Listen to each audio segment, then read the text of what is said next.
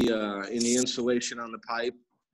But being at the location it was in, it was in the classroom and the classroom is occupied. There's a lot of people coming and going.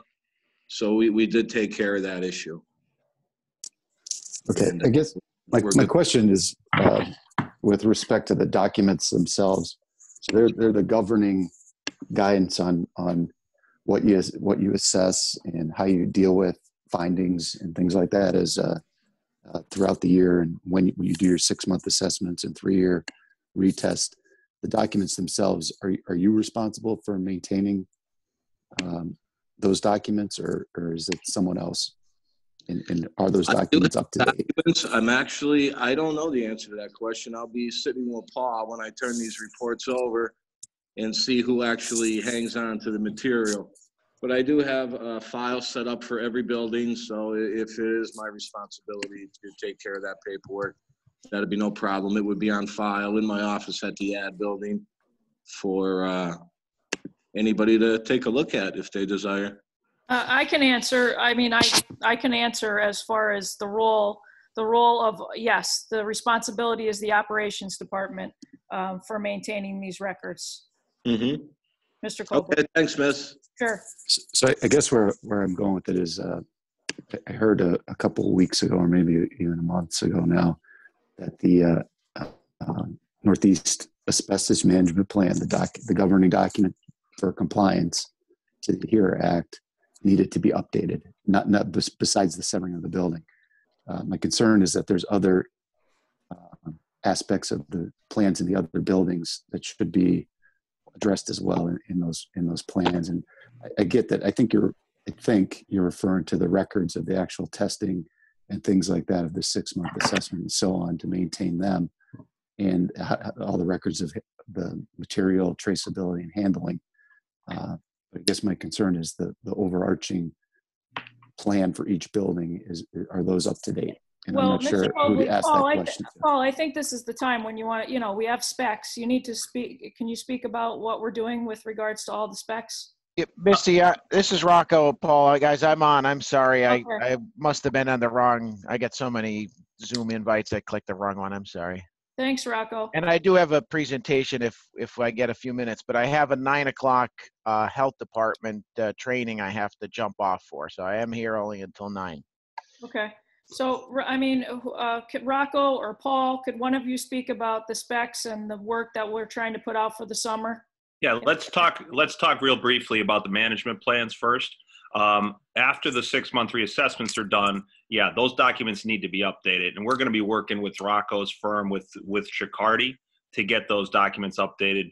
Just being that it, you know, unfortunately, we're at the point where we were almost starting from scratch. So every step of the way, we're kind of relying on our consulting firm at this point to make sure that we're not making additional uh, mistakes with our record keeping.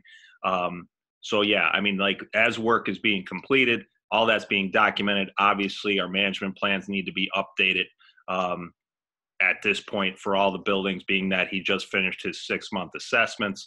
Um, and then Northeast is going to have, you know, from all my conversations with uh, the the gentleman at Chicardi, that um, that we're going to have a new management plan for Northeast. But uh, but Mr. Cobley, to answer your your question, yeah, the management plans all need to be updated. That'll be done um, by Carl in conjunction with with Kachardi. Um, that being that being said, I hope that answers that question. Th- th- yeah, that was that was my explicit question. Thank, thank you very Yeah, much. I'm sorry, I So- was sidetracked. I was trying to get Rocco on. Uh, he was uh, he was uh, around. Uh, I, it was very important for him to be on. If Rocco, if I'm misspeaking, please speak Ye- up. Yeah, and- and I apologize because I missed the front end of Rich's uh, question, but you're correct in that the, the management plans obviously are are contingent on where the asbestos is, uh, and that's really directed out of the three-year uh, reinspection process, and the inspection process drives then what is the management plan to uh, address and and remediate uh, or control what's been identified. And then the surveillance piece, the six month surveillance piece, which Carl is doing, is basically like a visual of just ensuring that during that three year period, somebody's looking at this stuff that we've known is asbestos because we've confirmed it on the reinspection and it's in good shape. There hasn't been damage, there hasn't been renovation or impact. So the, the way the system works, uh, it really is driven by the three-year reinspection, the development or updating, as it normally is, uh, of a management plan, and then surveillance of that. So all of the management plans are going to need to be looked at, uh, at least from our uh, Paul, we've had this conversation. There's there's some additional sampling that we'll do during the reinspection process that I'm sure will eliminate, uh, just as it did in Northeast, a lot of uh, product that you guys, uh, building materials that you guys are assuming is asbestos, when in reality it probably isn't. that's what that's what kind of jumps you know after you pointed that out that's what kind of jumps when you start reading these reports. There there's items listed in all these management plans and re-inspections that state that like floor tile is assumed to be asbestos. And without actual sampling how do you know? Um, like in our conversations that about uh, buildings like mcnichols plaza and west intermediate i mean Rocco, and again, if I overstep, please stop me. But like, there's a chance we could do some testing in those buildings and have them essentially be um, uh, ACM free. Almost Oh, without a doubt.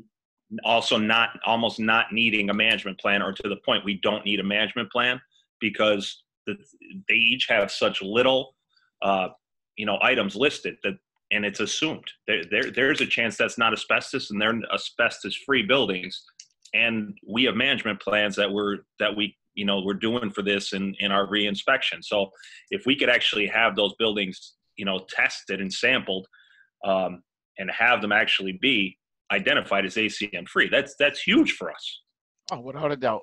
absolutely, Yeah, Absolutely. no doubt. Okay, great, great. So uh, uh, like what I'm hearing, um, uh, just a couple quick question follows ups to that. And then I want to get to uh, Mr. DePietro before he has to leave. Uh, with the update for those plans, most of it's driven by the, the I believe most of the, the three-year assessments were in 2019, late 2019. Uh, so is there a timeline or a schedule to have all those plans updated? Or is it just kind of first in, first out, the best effort Well, that's that's a great question. We've had so many conversations about this because the way that that our previous consultant had been doing that was um, almost like piecemeal. Like they were not able to provide them all at the same time. Where I know just you know the learning process in doing this, most places have them do uh, the six month reassessments January one and July one. Well, Guzik was sending them to us anywhere from like even the reports that are dated like August of 19, we didn't receive that in August. We got that in September or early October. Um, but that they actually did the assessment in August. By the time we got the report, was October, and they were just coming in, you know, a couple a week or one a week, and over a three month period. Our goal now, we did the six month assessment. Now we kind of did it piecemeal over the last, you know, three four weeks. But now our goal is we're going to get on that schedule. So the next six month assessment, it's not even going to be six month out. We're going to have them done for July 1. And then the following year, we're going to have them done for January 1. So we have all of our facilities on that schedule, which is much easier to track. And then when we get up to the three year assessment, then it'll be on that, you know, July 1 of 22. Um, I thought it was important for our, you know, for our district, just for tracking reasons, to have them all do simultaneously. Um, it, it makes it much easier, I think. That's the way everybody else does it, Paul. Yeah. So, so your intent is to have the plans updated by July 1st, and that will be the next uh, uh, set of assessments will come in at, at the same time? Oh, my my plan is to actually talk to like Rocco and update our plans. Is you know, Carl just finished up these six month reassessments. We're going to start updating our plans now, but he's going to go through the six month assessment process um, again prior to July one because I want to get on that other schedule. So we're actually going to do another assessment within like three months. Calling it a six month periodic check, which is and it's not even really, but I'd I'd prefer to get on that other schedule. Right, but this is a, uh, Yeah, that would be a guess, I guess it's a firm right statement. the Go ahead. Came in within a three-month time frame. Reports have been coming in from, uh, from July until late October. And that's, that's the reason for the, the shuffle dates like, uh, like you were talking about. But if we could get all the buildings on that six-month schedule and they're all due and come in at the same time, that would be a, a big plus and would really help us get a handle on, on everything going down the road. So that, that's gonna be a big, uh, a big help when that comes along. So uh, along, uh, last uh, question I have with respect to this is, um, I, not sure of your jargon, but essentially, I- think you, you, the district purchased a, um, like a resource planning tool for like work orders and things like that. Yeah, we that going to be, is that going to be tied into the six month and three year inspections as well? Oh, we're gonna put it in as like preventative maintenance scheduled, so Yeah. people, I mean, like Carl will get official notification that that's, you know, he needs to start working and when it's due. Absolutely. Um, in fact, we have another meeting, we have our introduction meeting for that operation system, um, tomorrow, in fact. Um, but absolutely, that's gonna be tied to it. Right. So those tasks from those plans will be integrated into that system. Okay. Very Yes. good. Yep. Okay, with, with that, and if there's no other questions with uh, regard to the uh, six-month assessments, uh, Mr. DePietro, could you, uh, I understand you have a presentation, an update on Northeast? Uh, correct. Yeah, I have the uh, the uh, PowerPoint. Hopefully, uh, you're seeing it or will in a in a minute. Um, just got to work through uh, in so many of these uh, Zoom things and Microsoft Teams and Skype. I got to figure out remember which system I'm in. Uh, We got your screen. all right. Okay. So um, here's the update on uh, Northeast, which obviously is the central uh, project uh, occurring right now in the district. Uh, stuff in uh, kind of gray is uh, already been completed. Happy to report that as of April 8th, uh, the abatement in the auditorium has started. Um, that was a little bit jazzed up uh, with the Easter holiday and sometimes so there was some prep before the holiday and and they've now uh, uh, resumed operation there uh, as of uh, uh, early this week. So abatement is is ongoing. Um, word from our Excuse, technician. excuse me, can, can Yeah. everyone see the slides or are they? I, I just see the title slide on my screen. I'm not sure. Oh, you should see a picture of the auditorium. You know. No, no, I still have the, the cover sheet. Yeah, the front of the school. Okay, stand by. Be multiple monitors. Or, Yeah. there you go. That's better. Yep. Okay, so you're not seeing what I'm seeing different way here. Okay, Yeah, I'll we're on this. in. Yeah, we're on slide two right now. Okay, but you're seeing my whole PowerPoint screen, right? Correct. You're not seeing the presentation. Let me try this way. See what happens here.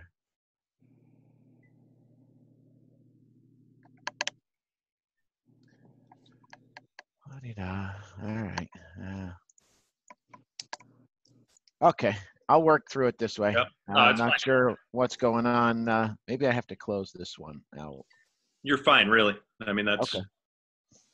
All right, so uh, in regard to the uh, abatement uh, occurring, so the clean out is done. I can't remember when we met last time. We met on the first, right? So uh, it was that uh, Friday, so it would have been the third that the clean out uh, has concluded. I have some pictures. It, it absolutely looks like a whole nother world down there.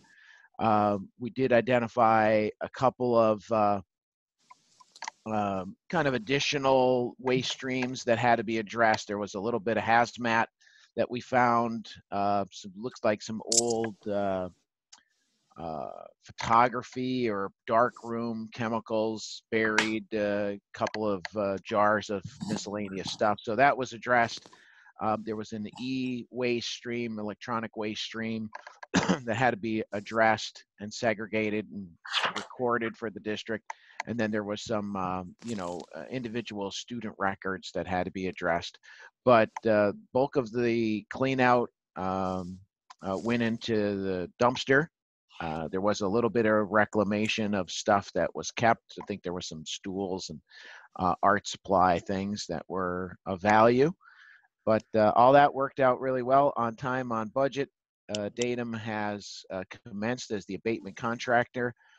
Um, the doc, their their uh, work scope of work is twofold in the auditorium room, and remember this is underneath.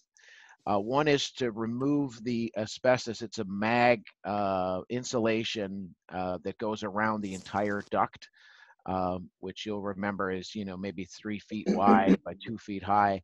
Uh, that's encased in in asbestos. Um, that's being removed as well as any pipe insulation or thermal systems insulation. So they basically have the entire room under negative pressure now and are abating. Seems to be coming off uh, fairly easily.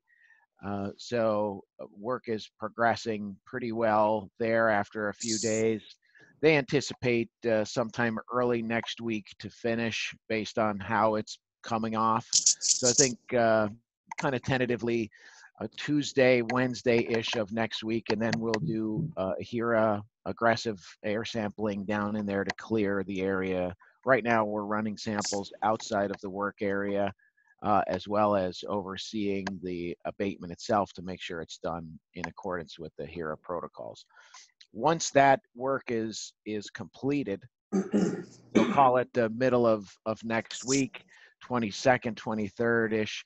Uh, then uh, immediately following will be uh, uh, Harold uh, Newell from Scranton Electric and the HVAC guys, which will go in there for their scope of work, which is really threefold. One is uh, go back in and put in some dampers uh, that are in the duct that had to be removed, replace some filters. Uh, so that we can access the duct inside to remove any asbestos there. Uh, second is to uh, provide the supply ducting to the actual bells underneath the seats, uh, complete that duct work. Uh, and then lastly uh, is to connect that intake uh, area in the in the what, what Paul refers to affectionately as the fallout shelter, um, the duct room. Uh, and that will kind It is a fallout shelter. I don't refer to it. There's a sign outside of it fallout yeah, shelter. yeah, I wouldn't go down there. Uh, and I do this for a living, but uh, th- that should should complete the uh, the work. And and again, I think that's kind of May-ish by the time they can complete all of that uh, activity. They need a, a few weeks of uh, fabbing and install, even though the parts of this uh, duct are there. So, what's going on in uh, in the meantime uh, is the approval process. Remember, this was a threefold uh, uh, process. One is to get the necessary approvals, uh, and that includes Scranton Fire from an occupancy standpoint. That letter has been sent to uh, uh, Looney, is it? Lunny? Yeah. Lonnie, yes. Lunny. Uh, for occupancy, we don't anticipate anything there. L- licensing uh, and permits uh, from a building permit standpoint to install the ductwork. I didn't talk to Scranton Electric, but I assume they're um, uh, have received approval for that work. Uh, and then uh, the AHERA uh, issue with EPA. That letter is crafted and is currently being proofed right now. I assume the district will do a proof on it. And basically, this is the concurrence letter that you've heard us refer to in the board meeting, whereby because we're uh, using an atypical AHERA uh, methodology, uh, and it's it's that that's a subtle difference and one that we can exp- expand on, but uh, we're separating the buildings, and that's really not an approved response action. We think it's it's protective of of student health and occupant health. It's just not identified as one of the things you can do. Uh, so we're asking for EPA to concur with this plan that says uh, we're going to separate the buildings, we're going to modify the management plan, uh, and we're going to address all of the asbestos in the um, in the new side of the building and the auditorium. And we hope that you think this is acceptable. And we're anticipating to get something back from the EPA that says, yes, uh, sounds like a good idea or something to that effect. I'm, I'm oversimplifying, but that's that's the uh, kind of key piece of this since the EPA is the authority having jurisdiction in terms of the asbestos side of the house. Um, and then from a Department of Ed standpoint, the PDE, um, all I think we need there is uh, to get the Scranton Fire guys to agree, to get the EPA to agree, and then they'll be satisfied that uh, we can resume occupancy. All of this obviously is done outside of the COVID-19 current uh, uh, issues, and, and we know we're not going to be back in that school uh, at least until at the earliest uh, the end of summer, or maybe even longer. So uh, all of the timelines have kind of you know shifted a bit, uh, but we're still proceeding along the lines as though we want to try to reopen that building as as fast as as possible. Now, Car- uh, Rocco, if I may, the Scranton Fire Inspector Lunny, he was on site. He did a walk through the facility. He did not see any issues with capacity. Um, we had walked through, geez, that's weeks ago now with him. Now, trying to get him to give us something in writing has not been as uh, as easy as getting him on site to look at capacity. We did send a letter um, with our anticipated capacity. Now, Kachardi did do uh, the exact calculation based on square footage, and the building is a. Um, they calculated the capacity of the building as uh, 12 uh, 1247, which is uh, would just on the newer side, the 1931 side, which would easily um, house the entire student population and the staff. Um, so that letter's with the city. I'll follow up again this week and see where they're at. Um, again, I think everything has a has a little delay or gets pushed to the side just because of the COVID nineteen, you know, things that everybody's dealing with. But uh, that was great news as far as the capacity calculation. That's something I was kind of holding my breath on, but um, with that number coming back, that's you know certainly more than enough to house the entire student population. Gotcha. Agreed.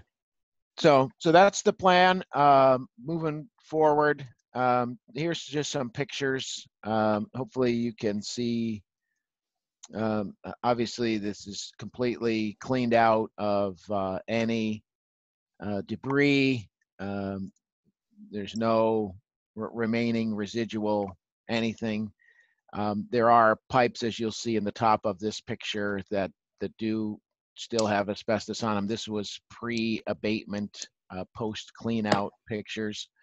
This is the infamous fallout shelter, the duct room area on the left is the intake side of the house, both for uh, the new side and the auditorium area to the right of that picture is the auditorium side. Our duct work that was shown here in this picture uh, basically connects those those two areas. Um, and now this is uh, kind of what it looks like today post uh, uh prep for abatement. So this is a three-stage decon uh, right outside of the abatement area. So everything in this room, or actually half of this room, is under negative pressure, being HEPA filtered, while the guys are in there removing the asbestos off of the duct. And Rocco, uh, I want to point out there's the fallout shelter sign. yes, there is. There it is. right underneath the asbestos sign. Yeah. Yes. So, so overall, uh, my report card on uh, on Northeast is this is moving along uh, pretty well. There's there's really uh, I, I can't be be critical of anything in the process. It, it's everything that we thought would happen is happening. Uh, it's happening on the schedule we anticipated. Um, and and the money is what we thought it was. So there really has been no alterations to to the process and pretty happy with the the way this has been uh, conducted and, and planned out. Um, I think you did uh, the district a service by uh, separating this uh, into two phases. You saved, I don't know, Paul, ten, fifteen thousand dollars uh, in the process. Now, granted, we have some extra time, uh, which helped, but realistically, this is going as well as it as it could go uh, for for what we're in for. And and at the end of the day, we're going to have a a really uh, solid and safe um, ventilation system uh, to to uh, present back to the children that that reoccupy that. So just kind of my commentary really well. Um, uh, really nothing I can, I can uh, change. And being able to use the auditorium as we get back into that building next fall, um, I think is going to be critical. I think that's really going to help the school having the use of the auditorium. Initially, we talked about getting back in that side and keeping the auditorium closed. And obviously, that would have created some issues down underneath because of, you know, when they put in the structure, the ductwork. So it actually ended up working to the advantage of the school because now they have the access to the auditorium back. And and and Paul, we speak in in health and safety world of a hierarchy of hazard control, right? So the first thing to control any hazard is eliminate it, followed by things like engineering and administrative, and lastly, personal protective equipment, right? So think mm-hmm. of COVID. The best way is to avoid contact, right? Use telehealth and and not go to the emergency room for miscellaneous stuff. The added benefit of this is that by the addition of the intake duct, you're not going to be able to get to the area underneath the auditorium very easily. You will be able to use the man door um, pictured here.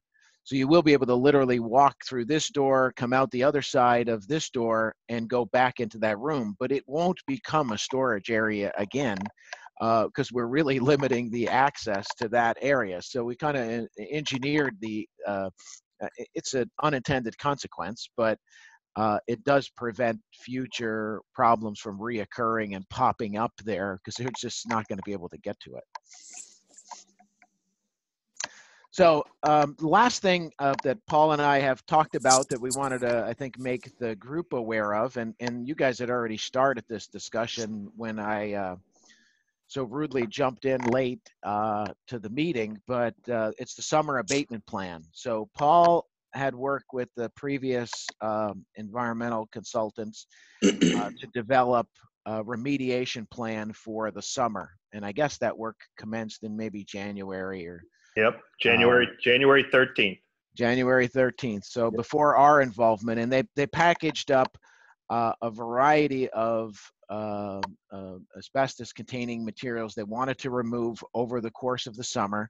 Given the size of that, they uh, broke it up into five packages, uh, each designed to spend uh, or dedicate about 35 uh, man days of activity thinking that uh, each of those would be bid separately, they would be awarded separately, and you could concurrently run five projects uh, and get the work done in the prescribed amount of time.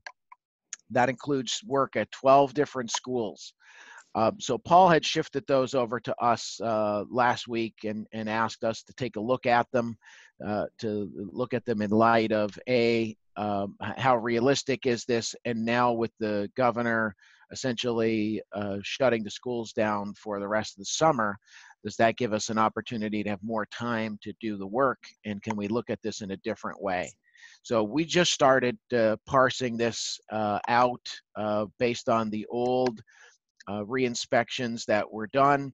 Now, keep in mind, uh, there's at least some inherent uh, issues with those inspections, things that just didn't make sense. Uh, and, and I think Carl's seeing some of that as he goes out to do his surveillance inspections, um, combined with some of the uh, uh, the sampling that was done, uh, whereby things were assumed that maybe didn't need to be assumed, and uh, we also have this the uh, abatements that have occurred since January. Most importantly, uh, the President's Day weekend abatement package um, over Valentine's Day, where we did a a, a bunch of uh, abatement activity, uh, utilizing that downtime to get some uh, critical work done. So.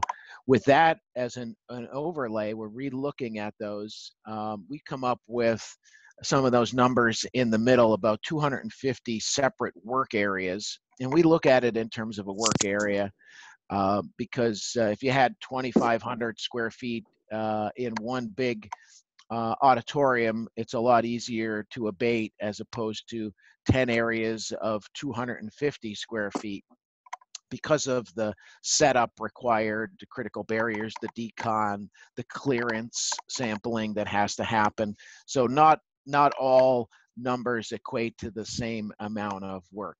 But uh, just some rough numbers over 400 fittings, uh, 17,000 linear feet of pipe insulation, and, and almost 35,000 square feet of flooring, uh, either v, uh, vinyl asbestos tile and or mastic um, or uh, sheet goods. So it's a monster uh, abatement uh, uh, plan to get all of that done. But given what we think uh, we're going to get from the reinspection process and, and the work that has been done, uh, and what we know of the district uh, after a, a month or two of, of um, dealing with folks, uh, we think we can narrow that down into two or three packages. And, and what's the advantage of that? Well, uh, you get economies of scale. If you don't have to deal with five companies or five crews mobilizing and five sets of uh, contract documents and five sets of purchase orders and change orders, um, you get some economies of scale and you can do things more efficiently uh, and and for a cost-effective uh, manner. So th- there's advantages to to limiting the number of packages that you put out. Uh, so we haven't put this in um, a spec yet, but it's going to take us a couple more days to get this all sorted out. Um, but that's what we think is we'll hope for two, maybe a worst case scenario, three packages.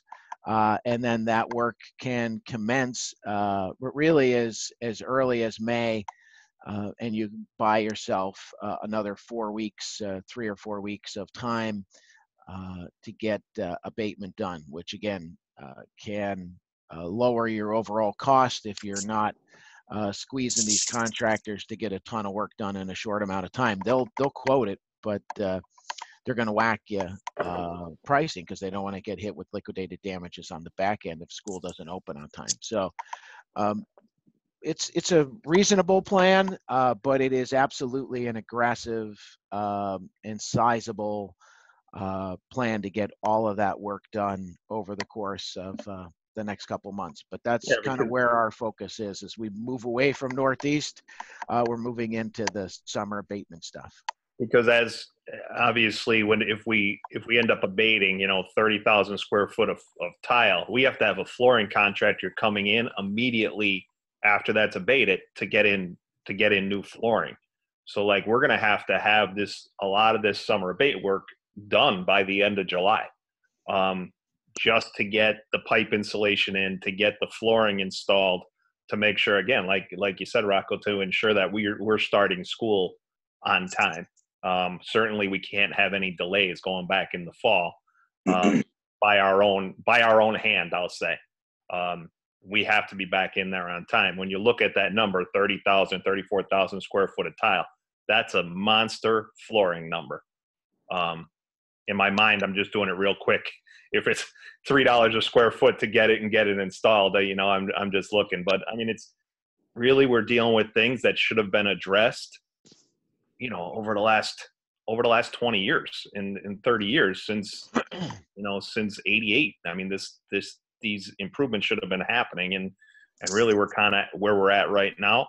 But if we don't have that done by the end of july and we have the whole month of august to get flooring in and to get get the pipes re-insulated you know that's that's going to be the issue. So picking up you know as unfortunate as it is that the governor closed schools for the rest of the year you know the educator in me that, that really hurts because i want i want the kids in school. You know i want to be you know i want to be in schools.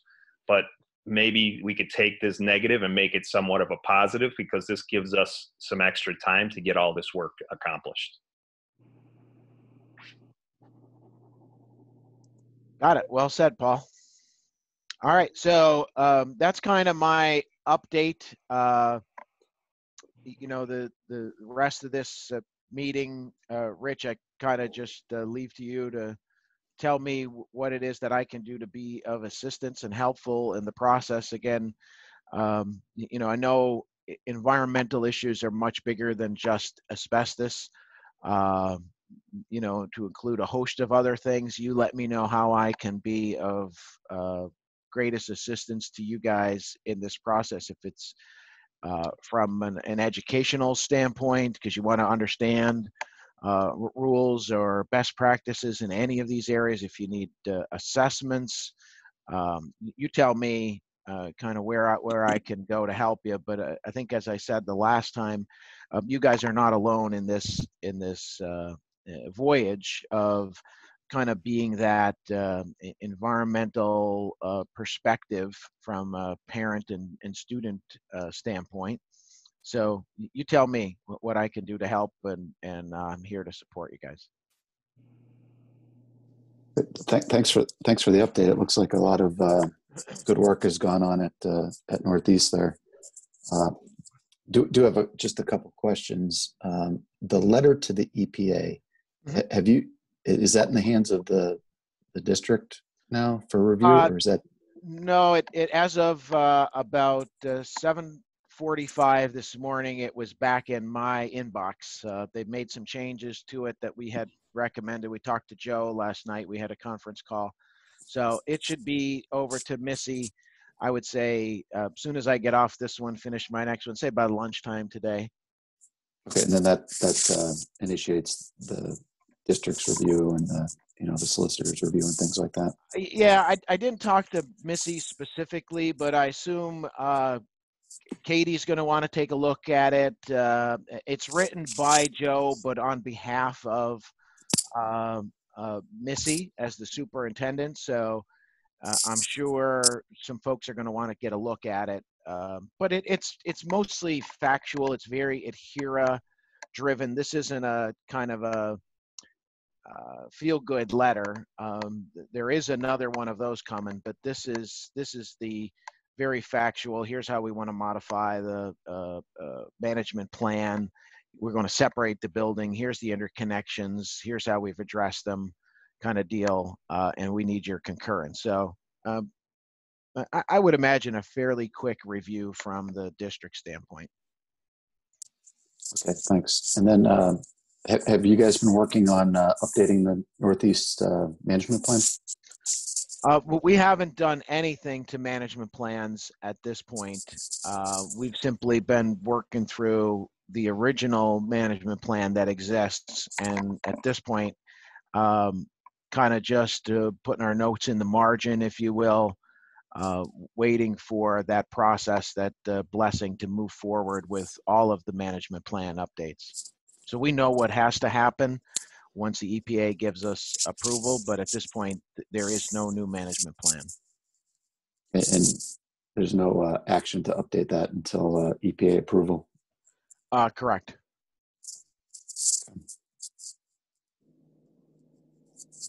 Any other questions?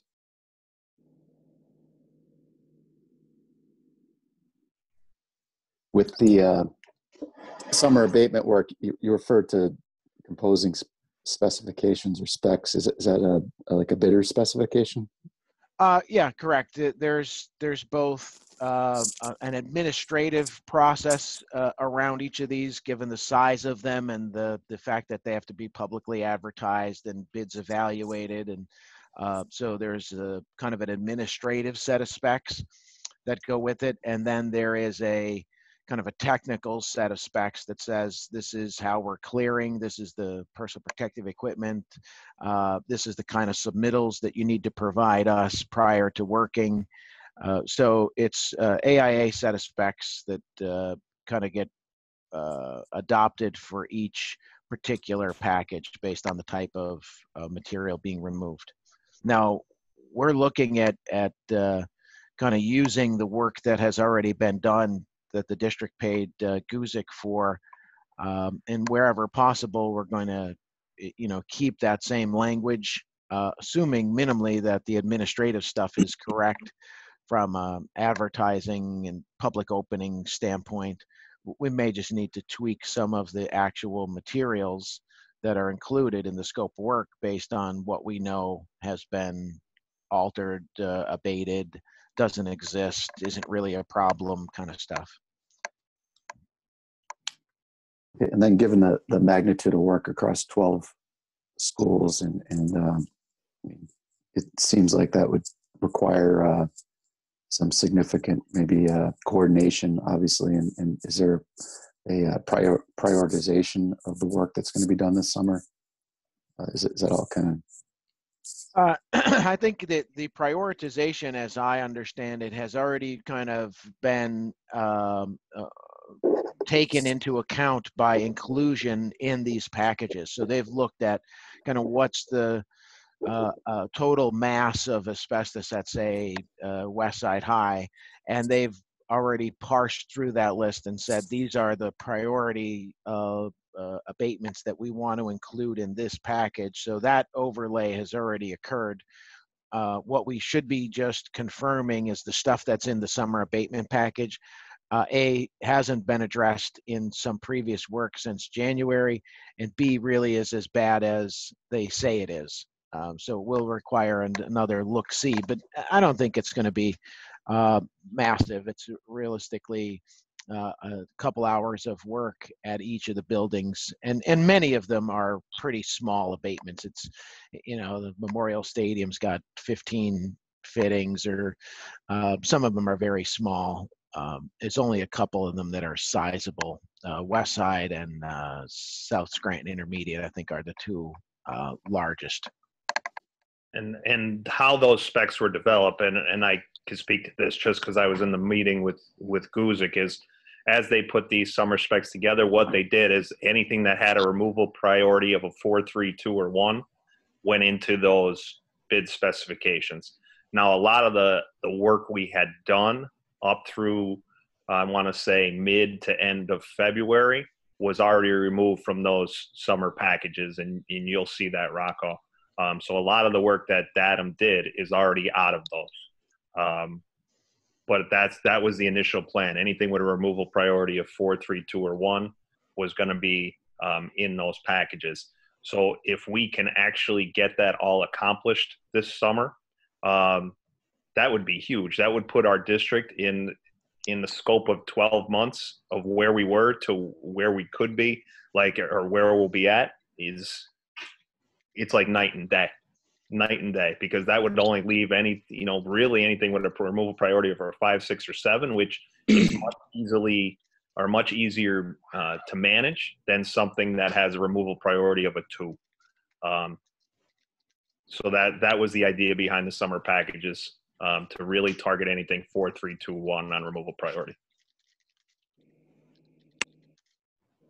And then, uh, uh, Paul, I'm, I'm assuming you're coordinating, uh, for, for example, you mentioned the flooring, like that, that abatement work would happen earlier, so you'd have time to, you know, do whatever follow on, you know, non-abatement type flooring installation and all, and all that. It's, it's a, sounds like it's going to require some serious project management. Oh, it, it's going to need some project management. There's no doubt about it. Um, uh, you know, we'll engage Kachardi to oversee uh, the bid process, not just to review the specs, but to oversee the bid process. That they'll evaluate the bids come in. Obviously, they're the experts in that.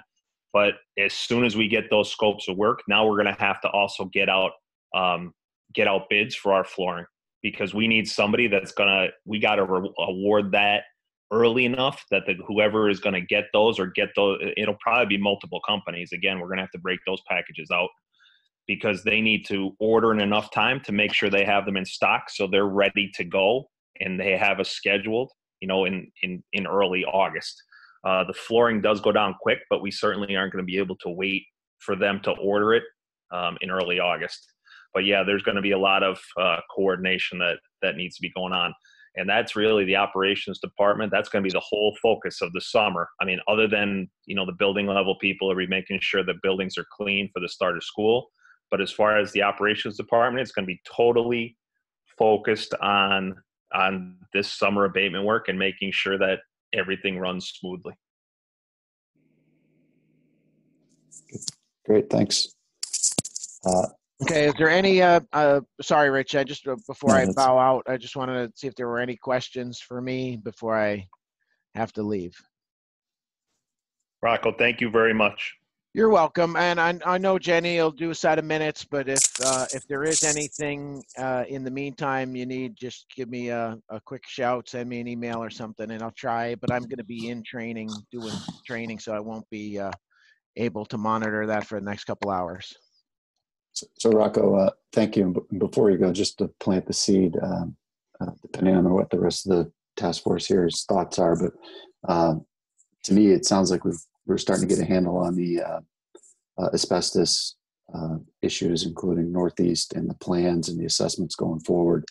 Uh, perhaps, uh, and my intent is to reconvene a month from now, uh, if the if everyone agrees with that. But I think at that time, I personally would like to expand into other topics, and if you could consider um, maybe putting together a briefing. I know the district's had some mold issues in the Mhm. past uh, with respect to air quality. That'd be something I personally would be interested in to start to hear and understand what uh, provisions or procedures are in place to deal with that. That's I- awesome. I think that's a great idea because that's um, one of the things I wanted to bring up today at the end. We were going to talk about some new businesses. I want to talk about um, Armstrong and our plan for the HVAC because we had so many mold issues and growth issues there over the last two summers. Um, and I want to maybe we need to look at some wide scale testing in some of our buildings come the springtime. Um, I mean, we're getting in, in Rocco again. You you tell me if I'm wrong, but you know, as we get into the spring, I guess that's probably the ideal time if we're going to do some some testing um, because we're going to get more accurate samples from the outdoor um, air samples as compared to indoor. Uh, Um, C- Correct, Paul, but but even before, because I'm not a you know go and and just sample for sample sake guy. I, I'm much more concerned about the fact that these buildings are going to be unoccupied um, through the spring, and we run the risk of you know excessive humidity issues and yes. same thing we had in the summer maybe accelerates because they're not occupied and and you know somebody's idea is to save some money and and uh, increase the temperature and and decrease the HVAC operation and now we end up with the bloom and you have amplification of spores all over the place so you're right absolutely it's a time to to be monitoring those systems now not necessarily running air samples but making sure we're controlling humidity uh, particularly as we get to the warmer uh, time. But again, I'm I'm sorry. I have to I have to get going. All Just right. give me a shout. Thanks, Thanks, guys. Rocco. Thank you, Rocco. Oh, you're welcome. Thank you, guys. Take care. Thanks.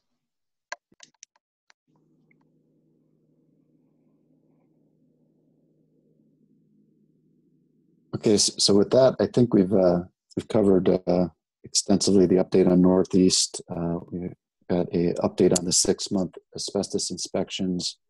Uh, again, looking for a, a wider environmental issues. Uh, um, uh, Yeah, I mean, if, uh, if can I you could follow talk, up with Rock? Go go for it. yeah, if it, I, I yesterday I met with uh, David Johns, who's an engineer with uh, Greenman-Pedersen GPI. At the last board meeting, um, we did award an engineering contract to GPI, which I was thrilled about. So we do have a new engineer of record. So we wanted to jump on a couple big projects that we've been waiting for an engineering solution on. One of them being um, the Armstrong HVAC situation. The last two summers, we've had significant mold growth in that building. In fact, like the week before or two weeks before school last summer, we remediated every single classroom um, in that building.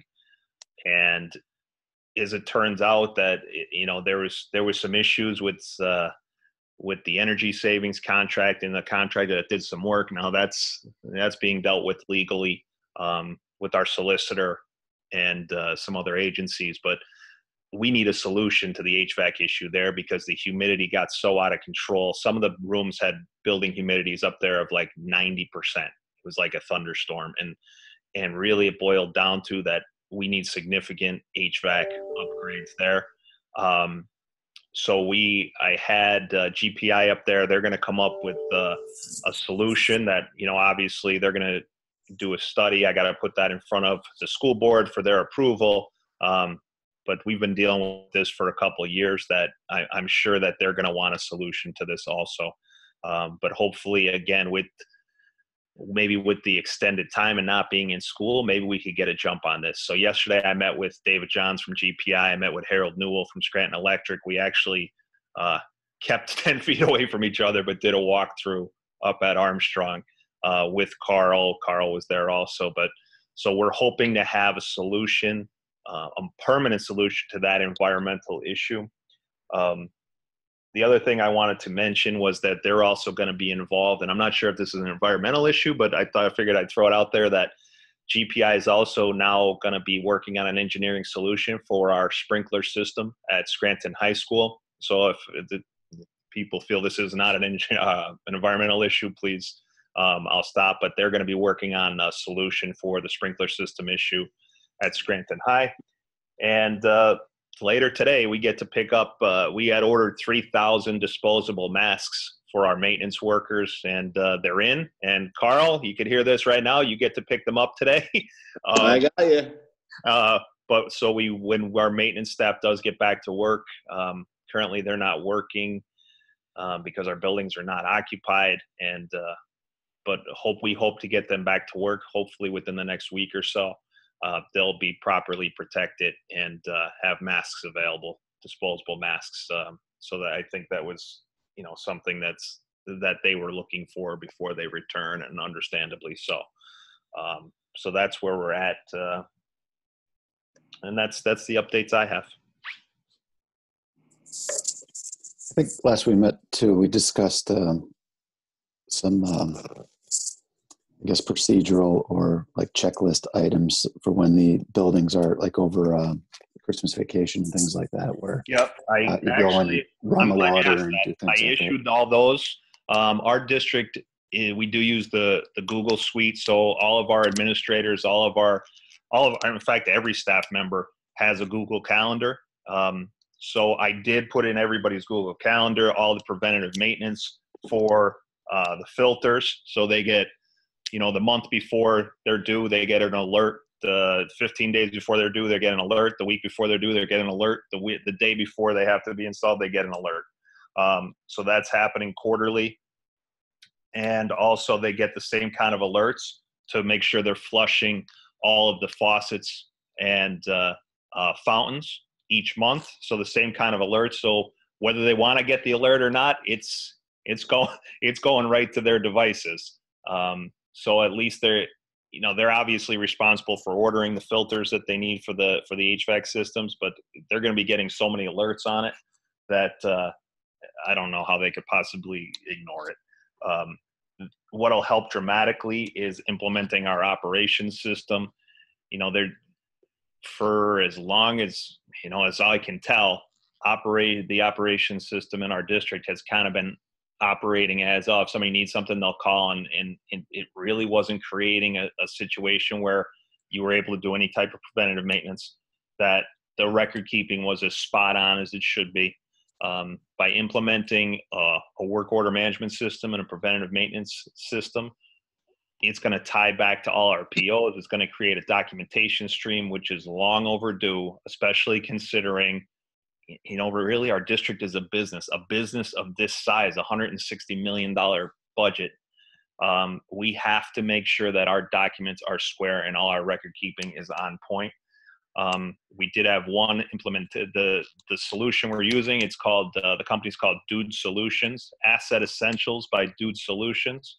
They were formerly called School Dude. Um, it was uh, there's over 200 school districts in Pennsylvania that use this platform, and it is it's everything I think that we're going to need it to be. They have so many options for their you know to use through their system, but if we could get it up just to manage our work orders and manage our the preventative maintenance pieces that we're aware of, that's going to be that's going to take us light years beyond of where this district has been for for decades.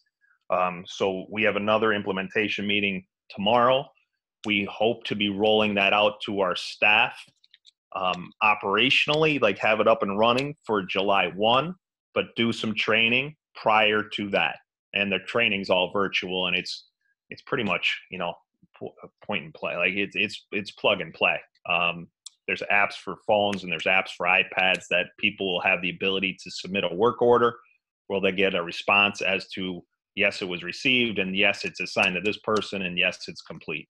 And it's going to create, you know, basically, it's going to hold people accountable for making sure that that work's getting done. So that's going to be critical for us. Um, but uh, I'm glad you brought up about the preventative maintenance piece because I did populate everybody's Google Calendar. They're probably going to get sick of hearing from it because it's going to have so many alerts going off. But thank you for bringing that up.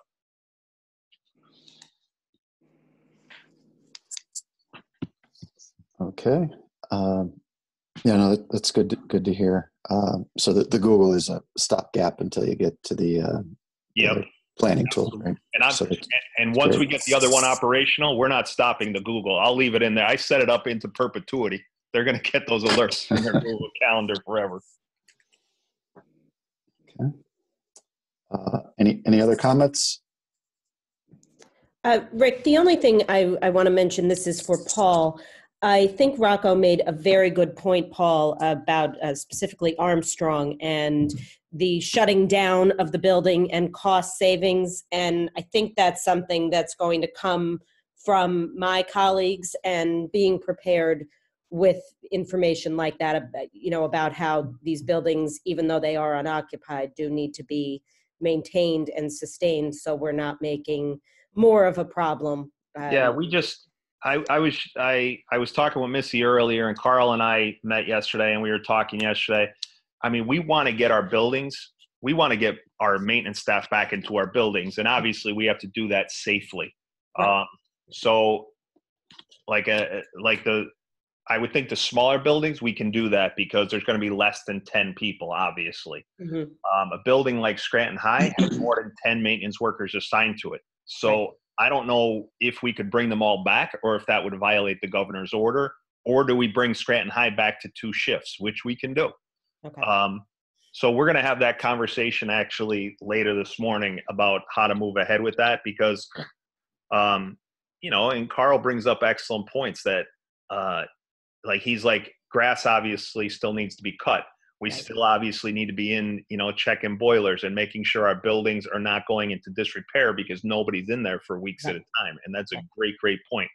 We also talked about shutting off, obviously, all the all the HVAC systems because you know essentially we're kind of through the time where things are going to freeze. Mhm. Uh, but I mean, if we're if if we shut off uh, like a building like Scranton High or a building like West Intermediate, then we're not circulating any air, Right. and our humidity could go through the roof. Right. Um, obviously, our buildings like uh, Charles Sumner, where they don't have air and it's just heat, well, we turn that off every spring anyway because it's no longer heating. So it's not that as much of a big deal there as it is for those buildings that are climate controlled. Yeah. Um, so that's all discussion. I'm glad Rocco said that because we have to too. figure out what to do with West Intermediate, with Scranton High, with with Whittier, with Kennedy, and these buildings that do have, you know, air conditioning, and, and the air conditioning really does control the humidity in those buildings.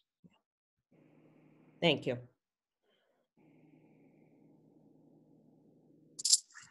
The, la- the last item I had on my agenda, and I don't think Director Hume was able to join us from what I see.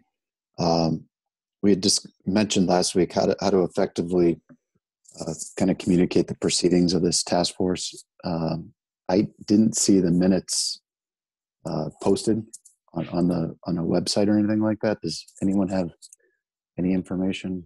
Uh, Rick, the update was shared with the board. If the minutes are not on the um, Environmental Task Force page on the website, we can cer- certainly make sure that happens.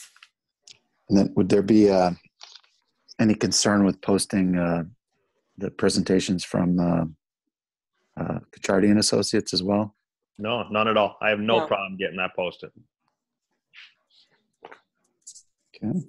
I, I'll, I'll tell you, I, I'm just noticing on this, on our Zoom here that this is being recorded. Um, I'm guessing that Jenny is recording it. I mean, I, I mean, as far as I'm concerned, I don't care if we put a link to the recording. I mean, if people wanted to listen to the meeting, I, I also don't have an issue with that. That, uh, per policy, Paul, that would be up to this committee. Um, The community advisory committees are not open to the public unless the committee decides that's a way they want to go. So that would be up to all of you. Oh, okay. I didn't know that. Thanks, Katie. You know me. I love a good policy. I mean, but I could I could easily make sure that the minutes get posted and that the Kachardi presentation gets posted. I'll work with Jenny to to get that done. Great, thank you. I think I think that would be helpful if anyone's interested in seeing what's going on, Sure. uh, for sure. Um, any anyone else have any any other comments uh, before we try to set some items for the next meeting? This is Paul Madore. I, uh, you know, I was listening to him talking about, I think Paul Doherty was talking about the flooring in uh, Northeast, roughly 30,000 square feet. And, uh, you know, the cost of having that ripped out. And my question is, you know, in my experience, it's not necessary to rip it out. Is there, are we are we definitely ripping it out? I mean, there there are alternatives. It can be covered with epoxy if it's in reasonably good shape. It can be co- covered and encapsulated in epoxy at, a, quite a sig- significant difference in cost. But I I don't know, you know, I don't know if there's some new regulation because AHERA used to, as far as I know, even in school buildings, allow that. Yeah, we we're allowed to encapsulate things. That's something I'm going to kind of rely on the expertise of of Rocco and and and Michael and Dr. Kachardi, um, because I just think that their well, I don't think I know that their knowledge and, and expertise on this far exceeds mine. So if they're going to, that's why they're reviewing those uh, the Guzik specifications before we issue them because if they're going to go through and say hey we can encapsulate this or hey this is not in bad shape you don't have to do anything to it because if if the floor tile isn't you know isn't cracked obviously even if it's asbestos floor tile you don't have to remove it. Um, this was totally based off you know Guzik's three year reassessment um, but if it had a removal priority of, of 432 or 1 so all of the the tile that's listed there has a removal priority of of at least a four, um, a four. I'm guessing a four or a three. So that's why they're going to spend a couple hours in each building just to take a look before we issue those bids. Mhm. Because I wanted to get those bid packages out, you know, as soon as the governor said, "Hey, we're closed for the year." My first instinct was like, "Let's get these bid today." Yeah. And then um, Rocco was like, hold up, we just picked up an extra month. We don't need five. We could probably get it down to two or three and let us put eyes on on some of these bigger items because you're looking at 30,000 square foot of floor tile across the district. That's a massive number. Yeah. Um, so they're going to actually go through and, and look at that stuff.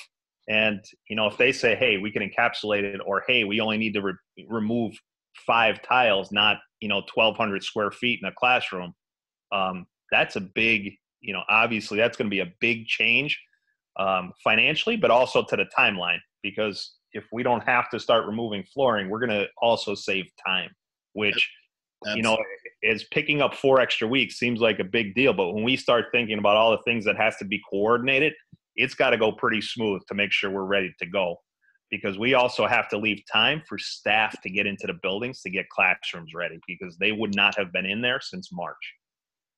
Understand. It's You just, it just, it's just, you know, in my opinion, in my experience, it's a savings in money and time.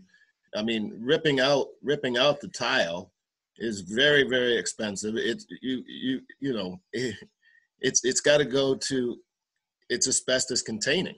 Right. Correct. Up all the barriers and do all that work, and then have to do all the cleanup even after it's done. It's the the the cost of that are, are Yeah. Like Probably. we, I mean, I, I just it, it's it's it's got to be a, a crazy number higher than encapsulation. I would I would think so. I would I would think you're spot on with that. I know they removed No doubt. I I, I know they removed about 18,000 square foot of floor tile from Northeast already, and we got lucky because underneath it uh, was the original like the original oak floors that were not in bad shape. Uh, we thought we were going to have to replace it, and it turned out to be no, not bad. So at some point, I would guess in the in the 50s, 60s, or 70s, they decided, hey, let's cover the the oak floors with with asbestos tile. But uh, we got lucky on that side that when we pulled it up, it was original hardwood underneath it.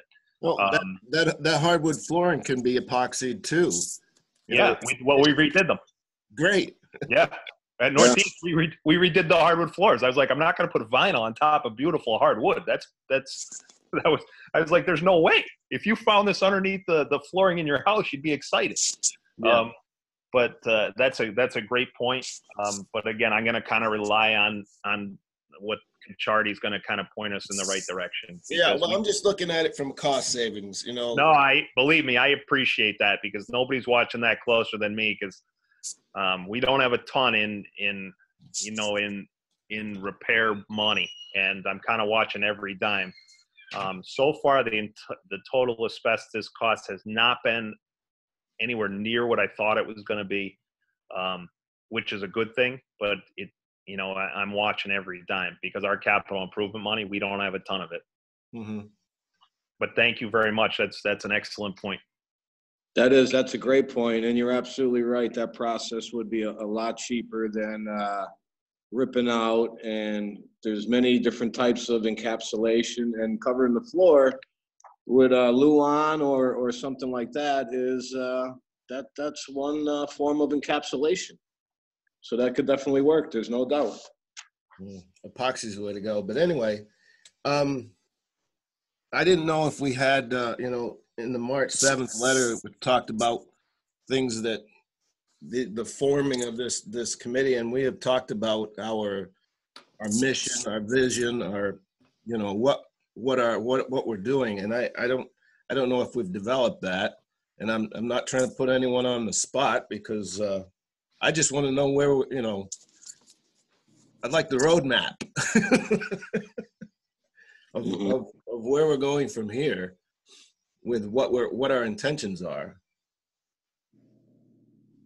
Yes. So, so this is uh, Rick Cobley again. Uh, so the, the my understanding and, and what the school district put forth when they when they set this up, it was a the, the statement they put out was a, it's the goal of this task force to learn more about the uh, current lead and asbestos conditions, and I think where we're heading is beyond that, and uh, you know just trying to you know essentially plagiarizing with the the uh, referenced Charlie referenced this in, to some EPA material uh, I'd consider uh, looking at what they have, and their their, general uh, goal is to uh, establish and, enhan- and enhance uh, healthy school environments, and, they list a series of topics which, which I, I kind of envision the roadmap leading to some prioritization of those topics, of which asbestos is one, mold, cleaning, chemical management, things like that, lead, Lead. along That's those lines. thing. Yeah. Yeah, that's one thing we didn't even jump into yet is the lead. I mean, our solution thus far has been just turn off the you know the the fixtures that have tested high. Um, whereas if we start flushing and we do some additional testing, we might just be able to switch out a couple fixtures and address it. Um, but we've been totally preoccupied with getting the you know asbestos under control. That like our solution thus far from the lead is not a long term one. It's just short term. We have them turned off. Well, Uh, with- with lead, you need to, you need to find out if it's coming into the school or if it's in the school. Correct. Right. And, and and the only if it's in the school, you don't need to replace the pipe. You need to install filters that remove that, and then you you put in a, a maintenance, uh, you know, a periodic maintenance to replace those filters for for whatever drinking requirements there are. Right. You know what what we found with the lead is really the where the areas we've not had a whole building test high for lead. It's only individual fixtures, and when we do 30 second flush tests, a lot of the ones that were tested high on the first draw did not test high after the 30 second flush, which kind of tells us it's probably the fixture itself. Um, now, obviously, I'm not an expert; I can't say that, but just kind of putting two and two together, that's what jumps at me. But as soon as we get these summer packages out, that's going to be the next thing for Kachardi is like, hey, let's get a plan together for ensuring that if we start swapping out fixtures, that we're doing the right thing. Um, you know, because if if we could avoid doing whole building filtration, I would uh, much prefer doing that. Um, just because I don't think it is whole buildings. I mean, not our testing does not show that. Uh, but that's you know that kind of got put on the back burner a little bit just because we got a temporary solution just by turning off the ones that tested high. Mhm. Yeah, and you're right. There is not an entire building that tested uh, positive for for lead. So No, it I- is sporadic throughout the building. Yeah, and the, uh, fixture, the fixtures that test fixtures is, Yeah. is a cheap way to start. The fixtures that tested high basically were in areas that we don't use all that often. Mhm. That's correct. The water i- i- is sitting. Yeah, you're absolutely right. In some cases, yeah. And by So- changing some filters and implementing a flush program uh, at the first of every month, I think you're going to see a, a big difference in, in the results of some of these tests because now the water is moving, we're flushing, it's not laying in these pipes uh, or laying in these fixtures. So uh, I think you're going to see that the lead problem is not as crazy as, as we once might have thought. And by just changing a handful of fixtures and stuff like that, I think you're going to see a big difference and a big turnaround in that. That's that's the goal. I mean, when I talked to Rocco about this um, initially, he's like, "Well, how many fixtures? You know, how many tested high?" I said, "Well, we had 38." And he was like, "In one building?" And I said, "No, no, no, district wide." He goes, "Oh, you don't have a lead problem. You have a fixture problem." Yeah. No, I you're started laughing. I said, Yeah. like, at the point that was like in mid-February, in the midst of our, um, you know, asbestos was in the paper every day. I started laughing. I said, "I can't believe I'm going to say this, but that's the best news I've heard in a long time that we don't have." Right. Um, And when you have a district our size with 19 buildings and you consider all the water that runs through these buildings, having 38 issues is really not a, a- a big deal. So, Yeah, uh, as long as you, as long as you're not the one trying to get a drink of water at the fountain, pardon me, I, I lost you there. as long as you're not the one trying to get a drink at the fountain. You know, it- my kids go to Armstrong, and well, my my daughter does, and they they can't even wash their hands in the sink because it's been tested for lead. There isn't a sign on the sink that says that. The water's just been turned off. It has been, and Paul, that's what Paul was just talking about. In order for, uh, for, and I hope I'm not speaking out of line, speaking for everybody, but my thought was, uh, in order for us to be, uh, sure and assured that everyone in that building is safe, we went the extra step of turning all of the, the sinks off. So no kid walked up to a sink, uh, unconsciously and, and took a drink of water when no one uh, was there to tell him, hey, drink out of the cooler, don't drink out of that water or out of that sink. So we just took it a step further to turn them uh, them sinks and fountains right off, so that scenario could never play out. And like how Paul, like Paul had said, that was a, an extra step in caution that that that we took to do that. no, that's also, but that's also on our our our summer work list is to get a permanent solution to that.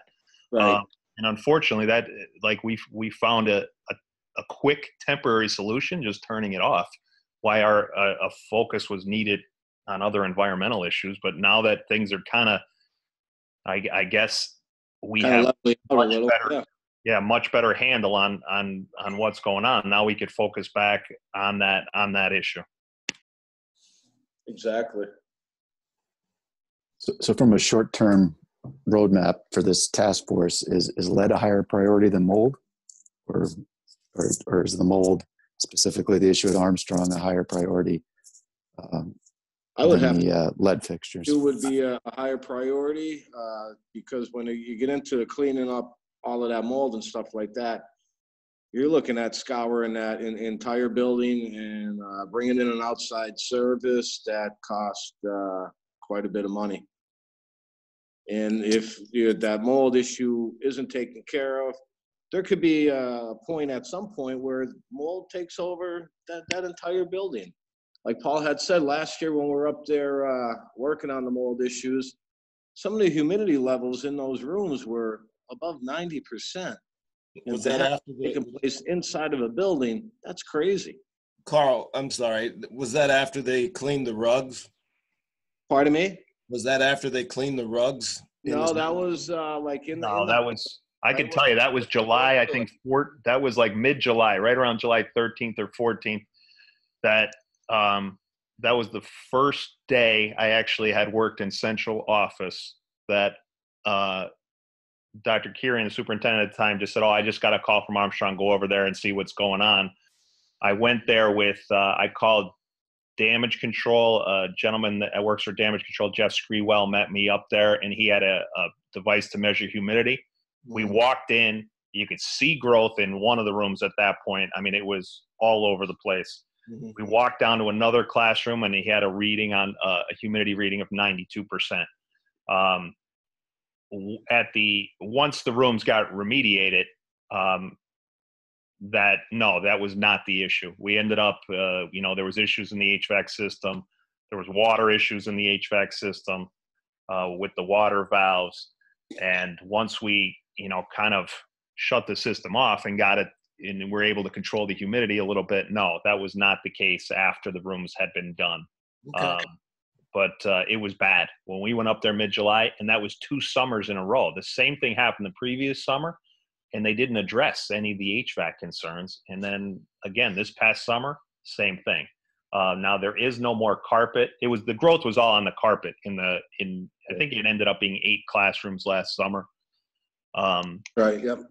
yeah, but they we ended up ripping the carpet out of every single classroom in that building. It, you know, Dr. Finan came in probably I want I want to say a week or two before we went back. She said, she said, absolutely every room needs to be done. Get the carpet out. Get new vinyl flooring in, um, and let's you know and let's move forward. And we were able to do that, um, and the, hopefully that's going to make a big improvement. But I mean, the the next step to that obviously is getting the getting the HVAC completely and permanently addressed. With you know, we had GPI on site yesterday, starting that process. But I mean, I think if Mr. Cobley, to answer your concern, the the most important between lead and mold, I I think it depends on on the building. I think that you know one of the things we hear from um, staff members a lot is about indoor air quality and making sure that there's good indoor air quality, which obviously is critically important for everybody. But I, I don't know the answer to that. I think that we would need to rely on Kachardi about you know where mold testing needs to occur because it's not always visible. I guess you know when it when it tests high for lead, we know there's an issue and we can address that. But I don't you know we were able to see the mold at Armstrong just because it got so extensive. But I think that uh, you know I think it depends on the facility, and I think it depends on what our consultants Kachardi tells us we should kind of focus on at this point. And I think it also you know is open for discussion in this in this committee. I, I, I think that's one of the values that this committee brings um, because we have you know we have people you know from the community, we have parents, we have board members, we have administrators, we have um, you know maintenance workers, and I think that as a committee we could kind of figure where our focus needs to go.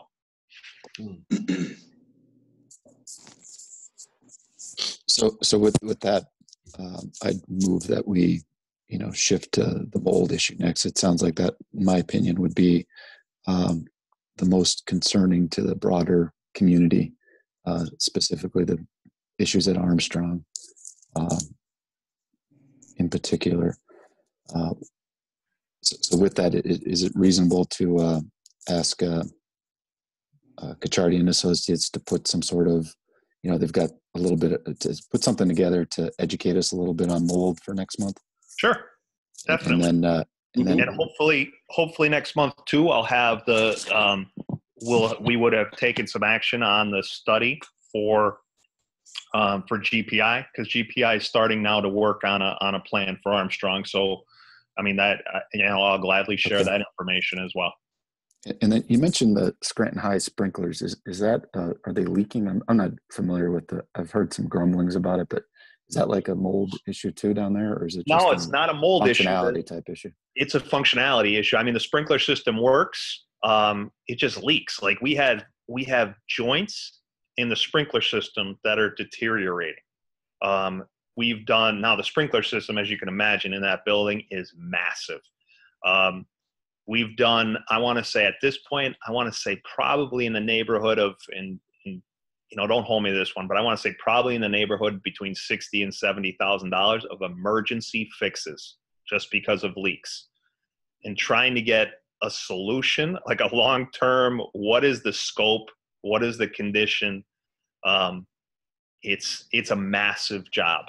Uh, you know, the company that was doing the repairs for us, K and K um, Fire Systems, they said, "Oh, well, we'll give you a quote of not to exceed a quarter of a million dollars, and we'll see how far that gets on repairs." Well, you know, we can't we can't just green light and, and sign a check for a quarter of a million dollars. We need to know the scope of the work, and really, we need we kind of need an engineering solution on that piece you know, I had asked quarter of a million, Jesus, how much to repair the whole, how much to replace the whole thing?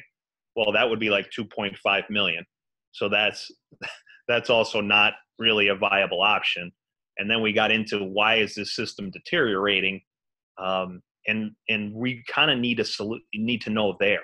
Is it, is there, uh, an issue inside the pipes? Is it outside the pipes? Is it due to, um, you know, is it worse around the pool area?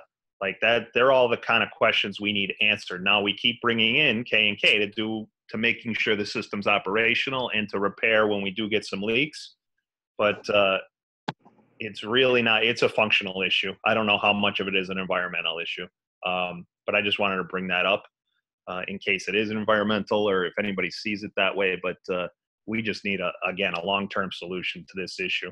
Uh, it's been in the it was in the paper i want to say last summer but uh, we make sure it's functional but uh, we need a longer solution than just repairing as it starts to leak because although it's not a mold issue right now if it keeps leaking it certainly could be Yeah, so, so if that's the case, I'd suggest we table that for, for this forum here. Uh, unless it becomes, you know, some, some secondary mold issue or whatever may result from the leaks, um, moving forward. Yeah, Yeah. i'm good with that Okay.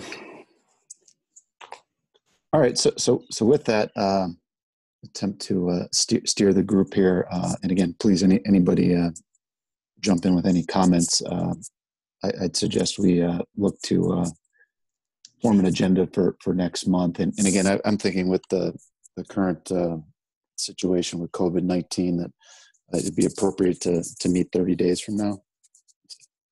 Everyone, everybody okay with that? Yeah, I, I completely agree. I think we'll have, and I think we'll have lots of information to share at that point um, because I think our summer bid packages will be out. I think we could talk about those.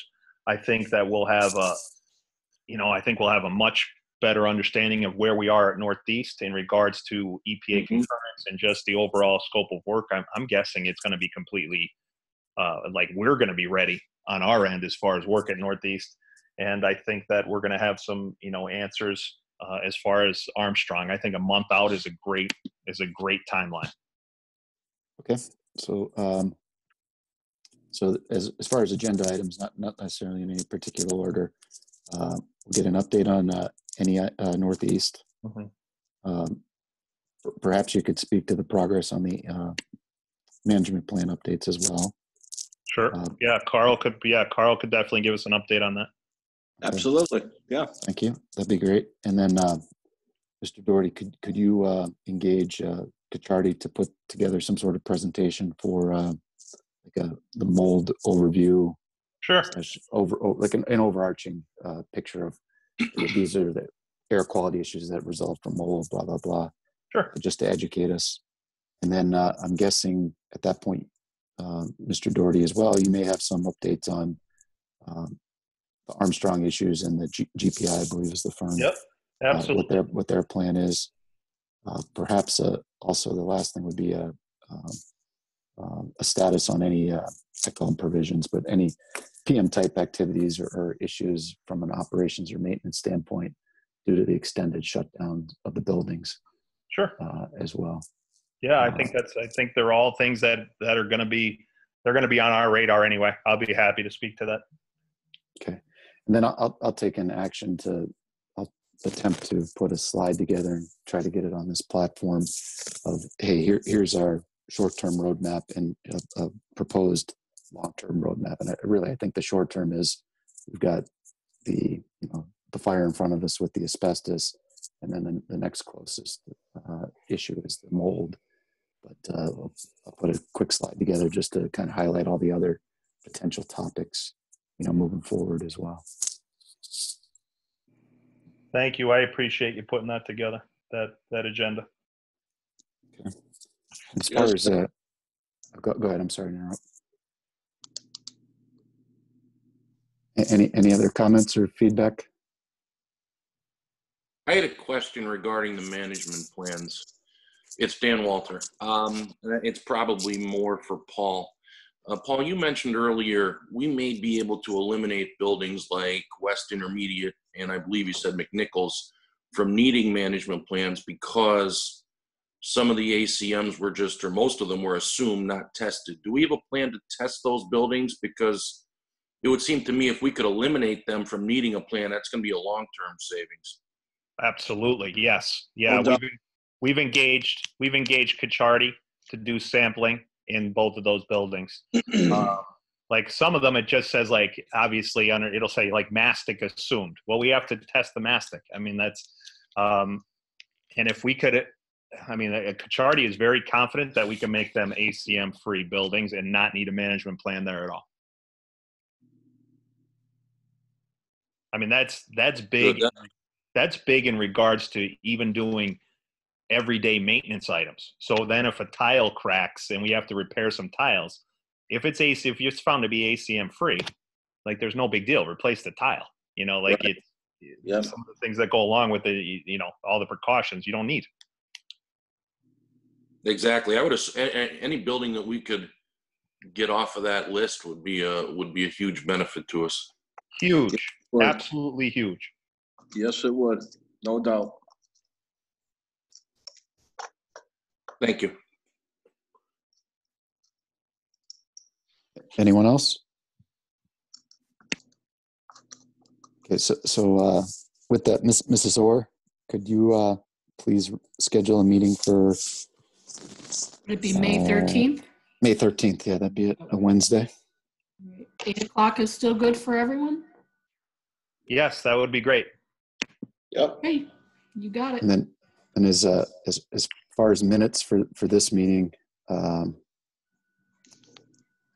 I I have taken extensive notes. I, I will, uh, volunteer to type them up and, uh, forward them out to, uh, uh, Mrs. Orr to distribute to the team members here.